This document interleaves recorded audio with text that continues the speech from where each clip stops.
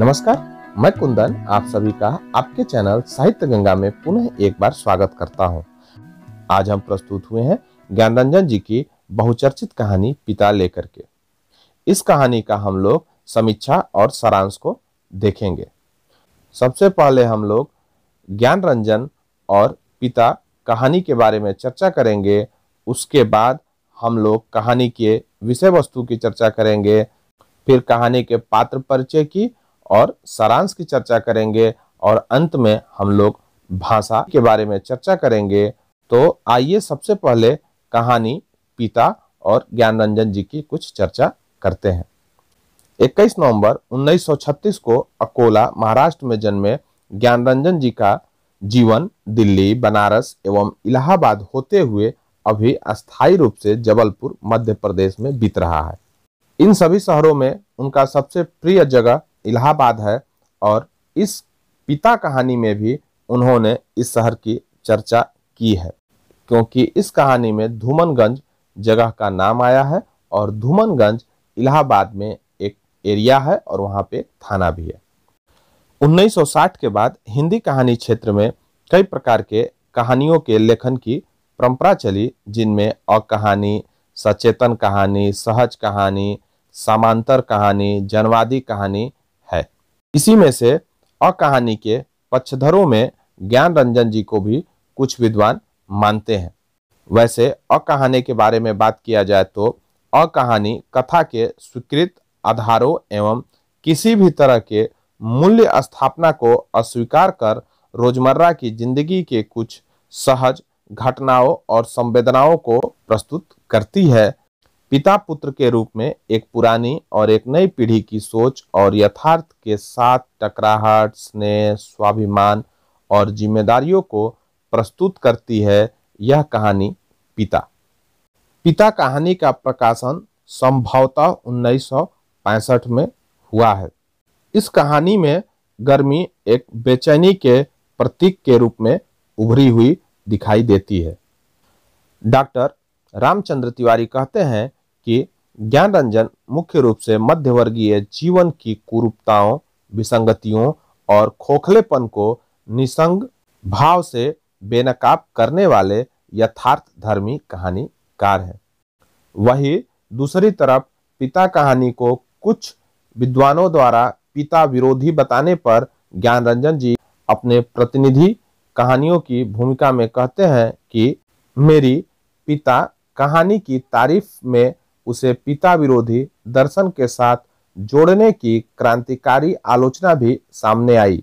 मैं इस तरीके को कभी भी पसंद नहीं कर सका, क्योंकि मेरी कहानियों में निजी मामले काफ़ी हद तक झूठ भी थे।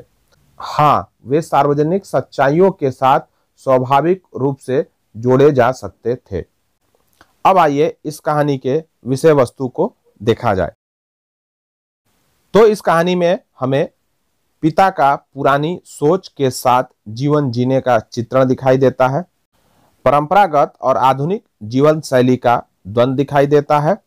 वैचारिक द्वंद्वों के बावजूद प्रेम और जिम्मेदारियों का निर्वहन दिखाई देता है। पारिवारिक संबंधों का बदलता स्वरूप का चित्रण भी दिखाई देता है। यथार्थ को दृष्टिगत रखते हुए पिता और पुत्र के संबंधों में आ रही दूरी की समकालीन व्याख्या इसमें स्पष्ट होती है। पुरानी पीढ़ी का अतीत से लगाव और नई पीढ़ी का अतीत से मुक्ति का चित्रण भी दिखाई देता है इसमें। और साथ में मध्यम वर्गीय परिवार की इसमें पृष्ठभूमि साफ़ साफ़ झलकती है। अब आइए इस कहानी के पात्रों की चर्चा किया जाए। तो इस कहानी में हमें मुख्यतः दो ही पात्र दिखाई देते हैं, एक पिता और दूसरा उनका बेटा सुधीर है और सुधीर शब्द की चर्चा पूरी कहानी में केवल एक जगह आती है, बाकी जगहों पर लेखक वह उसका कह करके कहानी को आगे बढ़ाते हैं। बाकी सारे पात्र कहानी में प्रसंगवश आते और जाते हैं। अन्य पात्रों में सुधीर की पत्नी देवा, सुधीर की माँ, सुधीर का कप्तान भाई, दादा भाई है।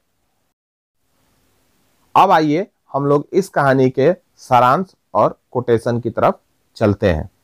कहानी की शुरुआत करते हुए ज्ञान रंजन जी कहते हैं कि उसने, अर्थात सुधीर ने, अपने बिस्तर का अंदाज लेने के लिए मात्र आध पल को बिजली जलाई।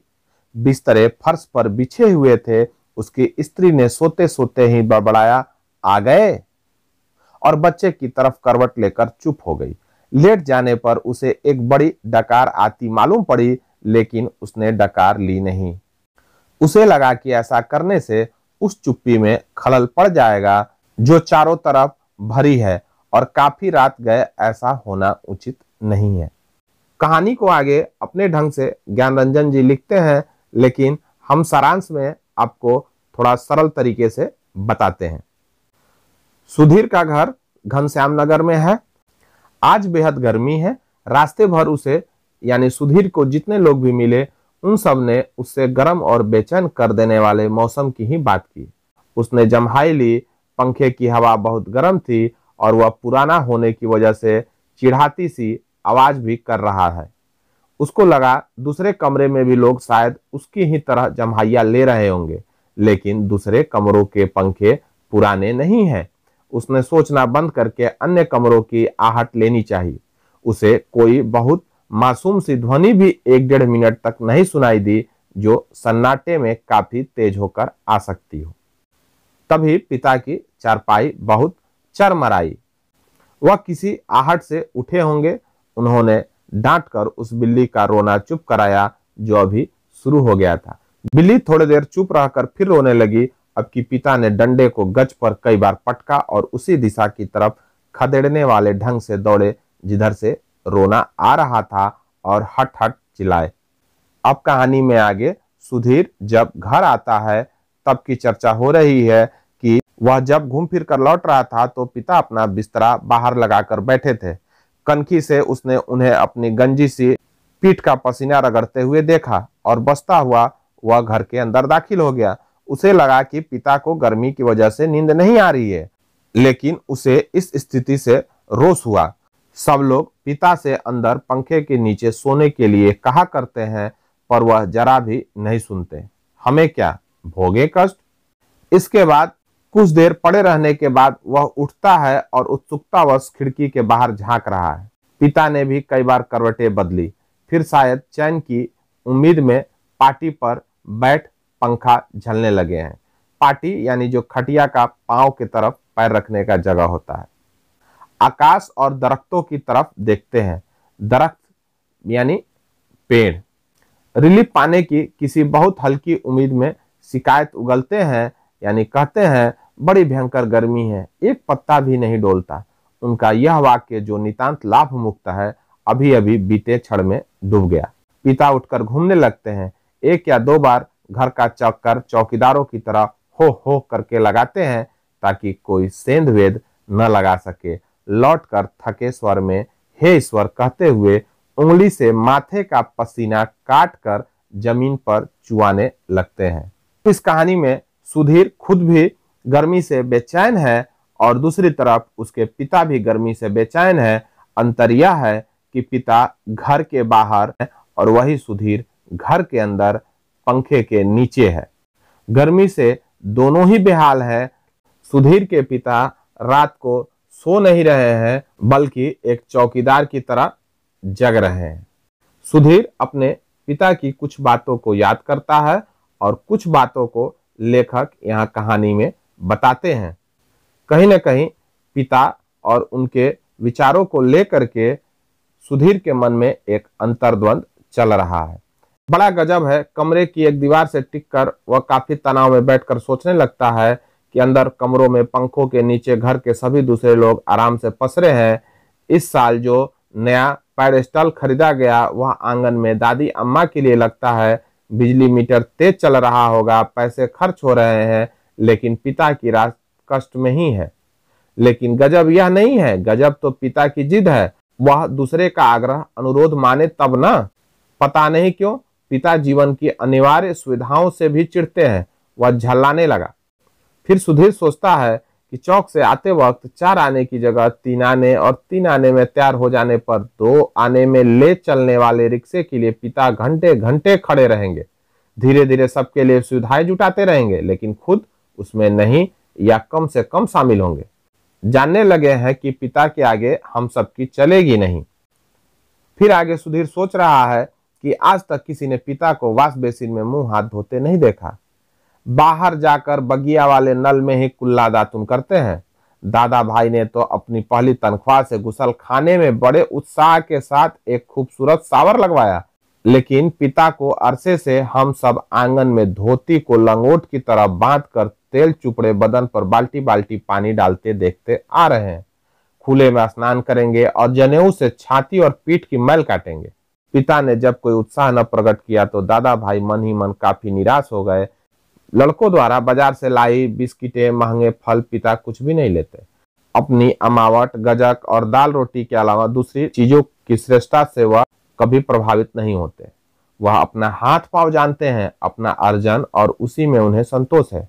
तभी बाहर की तरफ़ लद लद आम गिरने की आवाज़ आती है और पिताजी जाते हैं टटोलते टटोलते अंधेरे में उस आम को इकट्ठा करते हैं और इसी तरीके से उनका रात कटता रहता है।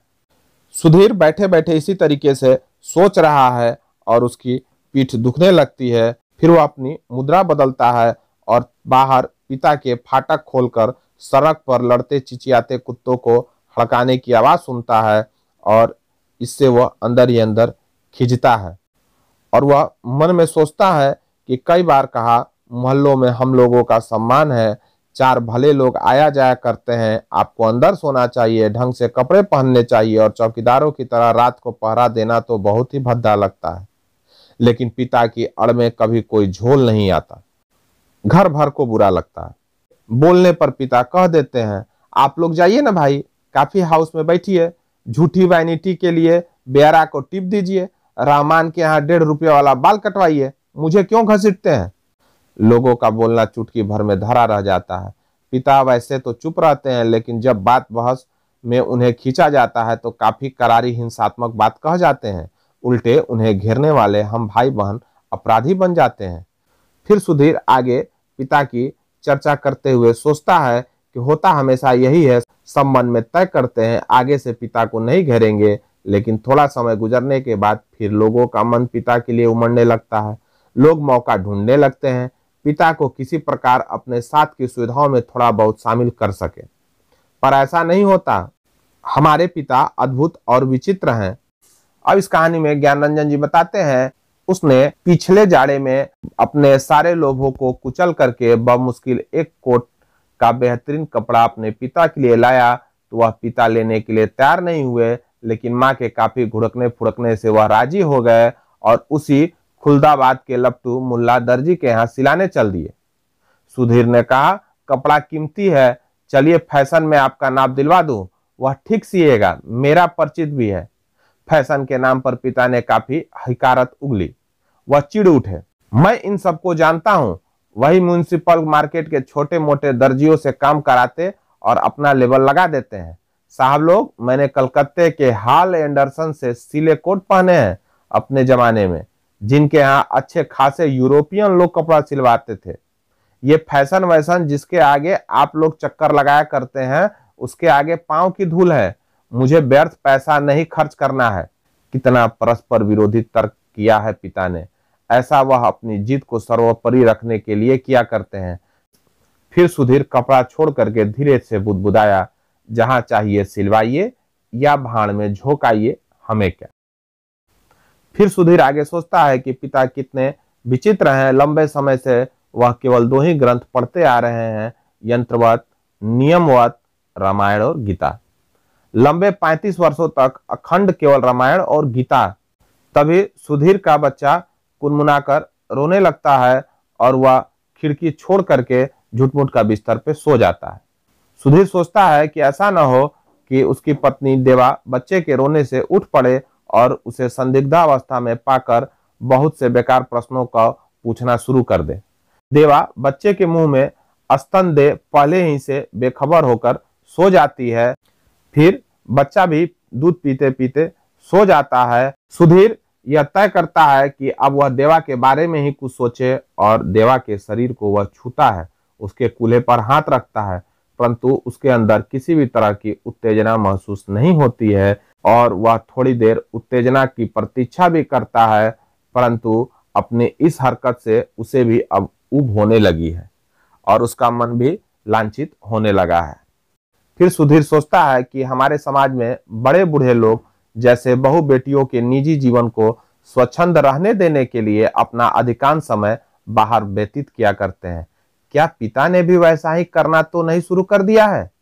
उसे पिता के बूढ़ेपन का ख्याल करके सिहरन हुई। फिर उसने दृढ़ता से सोचा, पिता अभी बूढ़े नहीं हुए हैं। उन्हें प्रतिक्षण हमारे साथ साथ जीवित रहना चाहिए। भरसक, पुरानी जीवन व्यवस्था कितनी कठोर थी। उसके मस्तिष्क में एक भिचाव आ गया। फिर सुधीर का विषाद भरा मन यह सोचता है कि वह जाकर अपने पिता से चिल्लाए, कहे, पिता, तुम हमारा निषेध करते हो, तुम ढोंगी हो, अहंकारी, वज्र अहंकारी, लेकिन वह कभी चिल्लाया नहीं। उसका चिल्ला सकना मुमकिन भी नहीं था। वह अनुभव करता था, उसके सामने ज़िंदगी पड़ी है और पिता पर इस तरह चिल्लाने में उसका नुकसान हो सकता है। उसको लगा, पिता लगातार विजयी हैं। कठोर है तो क्या? उन्होंने पुत्रों के सामने अपने को कभी भी पसारा नहीं। मौसम की गर्मी से कहीं अधिक प्रबल पिता है। फिर सुधीर के मन में एक पुरानी घटना याद हो आती है कि उसका वायुसेना में नौकरी करने वाला कप्तान भाई बहन के यूनिवर्सिटी के खर्चे के लिए दो वर्ष तक पचास रुपये भेजता रहा था। और एक बार होली में अचानक जब वह घर आया था तो पिता ने उसके नाम की बारह सौ रुपये वाली एक पासबुक थमा दी थी। सबको यह बड़ा आकस्मिक लगा। कप्तान भाई को भी हारत हुई और हल्की खुशी भी। एकाएक काफ़ी रुपए मिल गए, लेकिन इस बात से उसे दुख और पराजय का भी भान हुआ। उसने अपने को छोटा महसूस किया। दो वर्ष तक बहन के लिए उसने जो थोड़ा बहुत किया, वह सब एक पल में घटकर नगण्य हो गया। फिर भी वह अनुभव कर रहा था, कप्तान भाई ज़्यादा सोचते नहीं। फिर सुधीर को लगता है कि पिता एक बुलंद भीमकाय दरवाजे की तरह खड़े हैं, जिससे टकरा टकरा कर हम सब निहायत पिद्दी और दयनीय होते जा रहे हैं। यह सब सोचते सोचते रात का समय ज़्यादा हो गया है, उधर पिता जी जगे हुए हैं और इधर सुधीर का मन इससे और भी खिन होता है। वही वातावरण में न लोकेशन से उठती इंजनों की संटिंग की ध्वनि, न कंक्रीट के ग्रैंड ट्रक पर से होकर आती धूमनगंज की ओर से इक्के दुक्के लौटते इक्को के घोड़े की टापे, न झगड़ते कुत्तों की भोंक बाक रात्रि में शहर का आभास कुछ पलों के लिए मरसा गया है। फिर सुधीर सोचता है कि रात काफ़ी बीत चुकी है और इस समय यह सब सोचना सिवाय सोने के कितना निरर्थक है। कुत्ते बिल्लियों को हड़काना कुछ सुन नहीं पड़ रहा है। इस विचार से कि पिता सो गए होंगे, उसे परम शांति मिली और लगा कि अब वह भी सो सकेगा। शीघ्र नींद के लिए सुधीर ने टकटकी बांधकर पंखे की तरफ़ देखना शुरू किया। गर्म हवा के बावजूद दिन भर की व्यर्थ थकान और सोच विचार से पस्त हो जाने की वजह से वह नींद में चित्त हो गया। थोड़े ही समय में वह उठकर एकाएक बैठ गया। उसने चारों तरफ़ कुछ देख पाने के लिए कुछ क्षणों तक गड़े हुए अंधेरे को घुरा। हुआ यह कि उसे शरीर में एकाएक बहुत गर्मी सी लगी थी और अजीब सी सरसराहट हुई थी। शायद पसीने से भींगी टांग पत्नी के बदन से छू गई थी। मुँह में बुरा सा स्वाद भर आया था। उसने उठ करके दो तीन कुल्ले किए और ढेर सारा ठंडा पानी पिया और इतना सब कुछ वह अंधनिद में ही करता रहा। आँगन से पानी पीकर लौटते समय उसने इत्मीनान के लिए खिड़की के बाहर देखा, उसके पिता अभी तक सोए नहीं है। अभी ही उन्होंने, हे राम, तू ही सहारा है, कहकर जमाई ली। शायद सुधीर के पिता को इत्मीनान है कि घर में सभी लोग निश्चित रूप से सो रहे हैं। अब सुधीर के पिता ने अपना बिस्तरा गोल मोड़कर खाट के एक सिरे पर कर लिया और सुराही से प्याले में पानी ले लेकर अपनी खटिया की बाँध को तर कर रहे हैं। सुराही से खाट और खाट से सुराही तक बार बार आते जा रहे हैं। बहुत बार ऐसा करने पर खाट का बाँध तर हुआ है। इसके बाद उन्होंने पानी पिया और पुनः एक बड़ी आवाजदार जमहाई के साथ लिपटे हुए बिस्तर का सिरहाना बना निखरी खटिया पर लेट गए। सुबह कब हुई यह पता नहीं चला। पंखा ज़मीन पर गिरकर उनका दाया हाथ खटिया की पाटी से झूलने लगा, यानी वह सो रहे थे। और कहानी के अंत में जो वातावरण है, उसमें चारों तरफ़ धूमिल चांदली फैलने लगी है। सुबह जो दूर है, के भ्रम में पश्चिम से पूर्व की ओर कौवे काव काव करते उड़े और सुधीर खिड़की से हटकर अपने बिस्तर पे आ गया। अंदर हवा वैसे ही लू की तरह गर्म है, वह जागते हुए सोचने लगा कि अब पिता निश्चित रूप से सो गए हैं शायद। और कहानी यहीं पर समाप्त हो जाती है। अब आइए इस कहानी की हम लोग भाषा की चर्चा किया जाए। तो इस कहानी में ज्ञान रंजन जी ने बिंब और प्रतीकों का प्रयोग किया है। बिंब का उदाहरण देखिए। चारों तरफ़ धूमिल चांदली फैलने लगी है। इस कहानी में खड़ी बोली हिंदी के साथ ही उर्दू, अंग्रेज़ी और देसा शब्दों का प्रयोग भी दिखाई पड़ता है।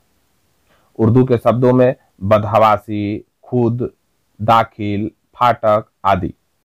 वही अंग्रेज़ी के शब्दों में anti father wash basin municipal, vanity, टीप आदि। और देशा शब्दों में लदलद, पसरे, टनटना, अमावट आदि। अब अंततः हम यह कहें कि इस कहानी में यहाँ दो पीढ़ियों का अंतर विरोध स्पष्ट हो जाता है। कहानी का वह अपने बाप को कनखी से क्यों देखता है? क्या उसमें इतना साहस नहीं है कि बाप से वह आँख मिला सके? दरअसल बात ऐसा नहीं है। वह पिता के अपने जिद से उपजे और अटपटे कार्यों के कारण जो रोष है, उसको काबू में रखता है। पिता जो कुछ भी करते हैं, अपनी इच्छा से करते हैं चाहे उनका व्यवहार किसी को अच्छा लगे या बुरा, उसकी उन्हें परवाह नहीं है। उनकी अपनी मान्यताएँ हैं, अपना विश्वास है। पिता पुराने ख्यालात के आदमी हैं। जब चोर सेन लगाकर घरों को लूट लिया करते थे। आज वह बात नहीं रह गई है, लेकिन पिता को अब भी विश्वास है कि उनके खांसने खखारने से चोर उचक के भाग जाएँगे। शायद उन्हें यह भी विश्वास हो कि पंखे के नीचे उनके न सोने से बिजली के बिल में कमी आए। और इस तरह की बहुत सी चीज़ें हैं जिसके कारण वह अपना एक अलग तरीके का कार्य करते हैं, जो कि आज की पीढ़ी के लोगों को पसंद नहीं आती है। तो साथियों, इस प्रकार हमारी आज की प्रस्तुति यहाँ पर समाप्त होती है। आपको यह प्रस्तुति कैसा लगा, आप हमें कमेंट करके बताइएगा। यदि आपको यह प्रस्तुति अच्छी लगी तो आप इस वीडियो को लाइक करना एवं शेयर करना न भूलिएगा। यदि आप साहित्य गंगा चैनल पर पहली बार आए हैं तो आपसे हम यह भी आग्रह करेंगे कि आप साहित्य गंगा चैनल को सब्सक्राइब करना न भूलें, जिससे कि आपको समय समय पर अपलोड होने वाली वीडियो की सूचना मिल सके। साहित्य गंगा पर हिंदी साहित्य से संबंधित बहुत सारे वीडियो प्लेलिस्ट में उपलब्ध है, आप चाहें तो उन्हें भी जा करके देख सकते हैं। हम अपनी बारी को यहीं पर विराम देते हैं। हम फिर आपसे मिलेंगे किसी नए पाठ पर। तब तक के लिए जय हिंदी, जय भारत। आप सभी का दिन शुभ हो।